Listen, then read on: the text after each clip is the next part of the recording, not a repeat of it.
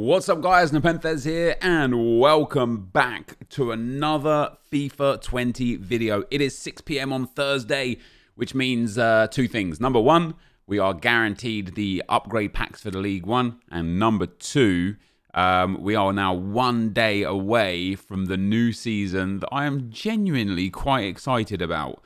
I know some of you aren't. For me personally, um, I'm interested to see what EA do for next season. No more icon swaps, of course, coming. Um, so yeah, we'll be we'll be good to see what's going on. Now we're gonna have some SBCs. Oh my god, Jesus, look at that! Two segments. Team of the season so far. Moments Maja. Earn a player moments Maja celebrating his hat trick versus Nimes Olympique in League One. You know what? You know what? I've like I, I haven't seen this card. I don't know his in-game stats. I don't know anything about him. But what I do know is this was a base silver card. Uh, he has an English inform, uh, and then I guess he's changed to uh, Nigerian. His inform is 75 rated. I, you know, I don't understand, and and it's, I like it. I, I, I love it. I love the fact that they've boosted him by plus 18. Right, they've literally given him like 12 pace, like 20 shooting, like 26 passing like honestly like 30 physical like they have jacked this card up and i like it. What i don't like and what i don't understand is why they don't do this for more cards you know? Way for me to make a negative about a positive right? I know but uh, let's have a look at his in-game stats. So first of all the first downside to this card well already we've got three downsides to this card and, and that makes me feel like this might be a really cheap card you know? Uh, two segments on him Three star, three star doesn't fit the meta. His nation and his club make him extremely difficult to link. Uh, before we look at his attributes, and he has zero traits. Um, on the plus side, on the plus side, that is a phenomenal, phenomenal set of in-game stats. You know, you bang an engine on him, 91 position. Oh, maybe not. Maybe maybe a maybe a marksman. Um, let's let's have a look. So his cards. So they they so based on his inform, they've jacked him up massively, right? Based on let, let me show you guys. Let me show you guys. Based on his uh his 66 rated card, they have jacked him up. I love it. I'm a big fan of it. I really am. Um yeah, three star, three star with no traits. I mean, an engine makes him ridiculously good because top passing, top physicals, very low aggression, top pace, top dribbling, and very good shooting. But you need to boost that positioning, that shot power and such. I, I mean, a Maestro, look at that. A Maestro on him. Oh, look at that. If this card is 284s or better, I think we could be on for a winner here, guys. If this card is 284s or better. Come on, EA. 84 with an inform. Sorry, 84 with a French league player. 84 with an inform or a team of the season. Do you know what? Nani as an SBC, for me personally, was one of the best, if not the best value for coin SBC we've had so far this year. This card, albeit with a couple of problems here or there, is hands down a top end, top end striker um, for 284 rated squads. Can't find a fault for that personally. You know, I, I rate that and I respect that massively. Um, we still got the League One upgrade pack. Obviously, no one cares about. Nothing new for the league stuff there. Um, let's have a look at the live content. So uh, we're obviously going to have the um, 81 double upgrade is still there as well. The League One challenge, I believe that was already there. The bronze and silver upgrades, the League One premium upgrades. Um, obviously, that's what everyone's going to be grinding here today. The, a new League One challenge for a rare electrum players pack. That might not be new either. That might have already been there as well throwback marquee matchups that we're going to go ahead and have a look at, and a team of the week upgrade that again is is kind of pointless. So nothing in basic, nothing in advanced, um, nothing in players. So he has got a time limit on him, and I also don't believe that there is any new league SBC uh, cards available. Um, so that leaves us with uh, the throwback marquee matchups, which this week for a mega pack is nice. Hibs versus Hearts. Uh, premium electrum players pack, one Scottish Prem player, nice and cheap, three leagues, four four max from the same league, three rares, gold players, ten. See, for me, as a whole, marquee matchups are always worth it. As an individual, sometimes they're not, and this one is actually not worth it as an individual. You're trading in ten gold players for a pack that gives you six gold players. Um, and that's that's just pretty crazy. Uh, Seattle Sounders versus San Jose Earthquakes, a 77 rated squad, which again is going to largely depend on lots of goal players. You know, probably 11 goals unless you go for like 80s and 81s and then drop in some silvers. But even then, you're probably overpaying. Um, one MLS, five clubs, and a goal players pack. So both of these aren't particularly great value. Uh, Bordeaux versus Lyon, uh, one player from there, two players from the French league, three players from the same nation, three rares, 79 rated for a prime electrum players pack. Uh, so again, you're looking at just trading in a bit too much for what you get back. And then Spurs versus West Ham, an 80 rated squad. Jesus. One Spurs player, one West Ham player for a Premier Gold Players pack. I tell you what, guys, this has got to be, in my opinion, one of the worst value marquee matchups that I've seen in, in some weeks. The packs it returned are terrible. You get a mega pack for the whole set, and EA, like, it's going to. These players are going to go expensive. The Bordeaux or Lyon commons, the rares are already crazy expensive. You'll probably get them actually from the upgrade pack, so you could probably do that there. Um, one Spurs player, one West Ham player. West Ham players probably won't move. Spurs players because there's already so few of them that are, uh, you know, the the with the price being low, they will go up to like four or five k as per usual for for a premium gold players pack. That for me is just not worth it. Um, and then yeah, that uh, player moments Josh Meyer or Maja, I, I assume it's Meyer, um, is there as well. Wait, what the hell just happened to my favorites? We've got Meyer. I, I think he's good, man. I think that's a good card. Uh, and then we've got the French uh, premium upgrade.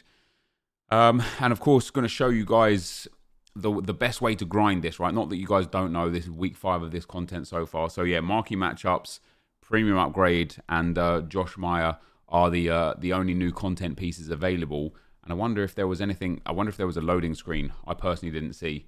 Um, I personally didn't see. We'll wait, we'll wait. Oh, there is a new loading screen. So uh, yeah, ultimate team of the season. 99. Wait, what? 99 belt. Oh, yeah. EA put a 99 Argentinian, a 99 Portuguese, and a 99 Belgian on the loading screen. As if we don't know who they are. It's obviously going to be De Bruyne, Ronaldo, and Messi because they're the 99s. Um, obviously, uh, I think what is Lewandowski there as well. Um, right, let us let us go and build a couple of these packs, and I'll show you guys where you kind of like your best your best potential of, of getting good grind value out of these will be. Um, so I'm going to steer clear of using my Spurs players. Obviously, they're going to be a little more expensive than normal right now. Um, and uh, we can put in Milivojevic, Dani Ceballos. These guys are always cheap. Uh, Lindelof can go in, so we'll trade that one in. You only need uh, 45 chemistry and 11 rares, of course. Any rares on this one as well. It doesn't have to be from any particular league. Um, so what we'll do here is we'll do one from the Premier League, one set from uh, the Bundesliga, one set from La Liga, and uh, one set from the Serie A, and open four of these packs. And it's going to be interesting to see how well these are valued. The other packs that we had from the French League, the one where you had to put in 11 French Rare League players, I mean, the player pick packs, they generally were quite terrible, right? I know some people got some big cards out of them, but I think in general, they were a bit of a waste.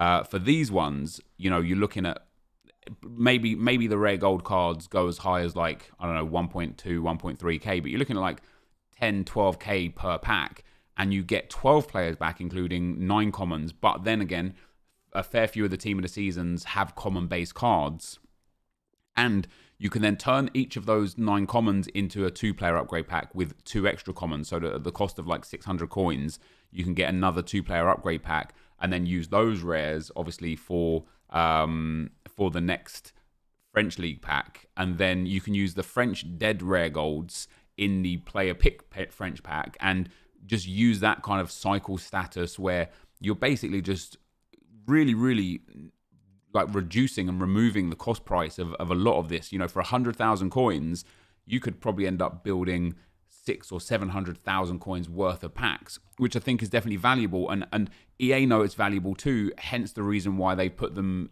only in for 24 hours this team of the season, opposed to the three or four days that we had on them before. Because when they give you too much time, you could just grind them too much, and you just get too much value out of them. Um, so we'll build one more. Uh, so for the sake of you know 44 rare golds, we're going to get 12 rare golds back.